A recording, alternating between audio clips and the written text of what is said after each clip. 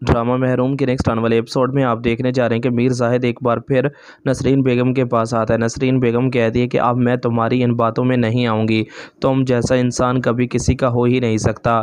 جس انسان نے اپنی ہی اولاد کو دولت کی خاطر استعمال کیا ہو، یہ بات سن کر زید کہتا ہے کہ تم نے بہت غلط کیا۔ سب کچھ عمیر کے نام کر کے تم نے خود ہی اپنے بیٹے کے لیے میرے دل میں نفرت پیدا کر دی۔ یہ سب کچھ عمیر کے نام نہیں رہے گا۔ عمیر سب کچھ مجھے لوٹا دے گا۔ تم نے شاید بہت بہت بڑی غلطی کر ڈالی۔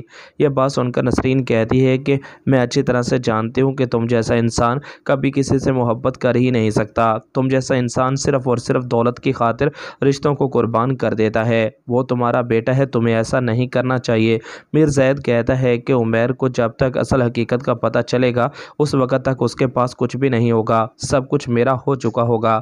نسرین کہتی ہے کہ مجھے صرف اور صرف میرا بیٹا عمیر چاہیے، مجھے اور کچھ نہیں چاہیے۔ اور میں تمہیں بتا رہی ہوں کہ میرے بیٹے کے دل میں جو تم نے زہر پیدا کی ہے، بہت جلد وہ ختم ہو جائے گی، وہ تم سے نفرت کرنے لگے گا۔ یہ بات سن کر زید کہتا ہے کہ تمہیں لگتا ہے کہ تم اپنے مقصد میں کامیاب ہو جاؤ گی، تو ایسا کبھی بھی نہیں ہو سکتا۔ تم کبھی بھی اپنے مقصد میں کامیاب نہیں ہو پاؤ گی۔ یہ بات سن کر ایک بار پھر زید کہتا ہے کہ اب تمہیں بتا دوں کہ تم اس گھر میں کبھی بھی واپس نہیں آ سکتی۔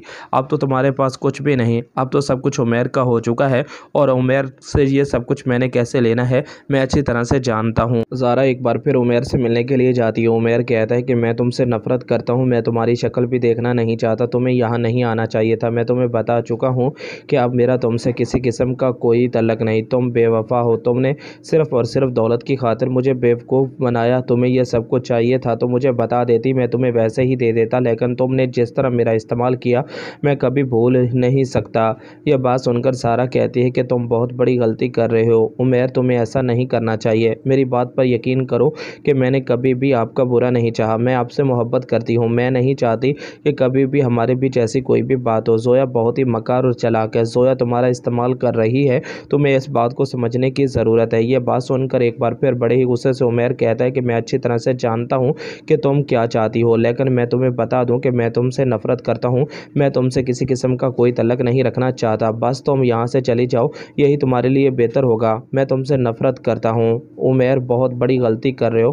تمہیں ایسا نہیں کرنا چاہیے۔ خدا کے لیے میری بات مان لو۔ یہ سب کچھ آپ آنے والے ایپیسوڈ میں دیکھنے جا رہے ہیں۔ دوستو، چینل کو سبسکرائب کر لیں۔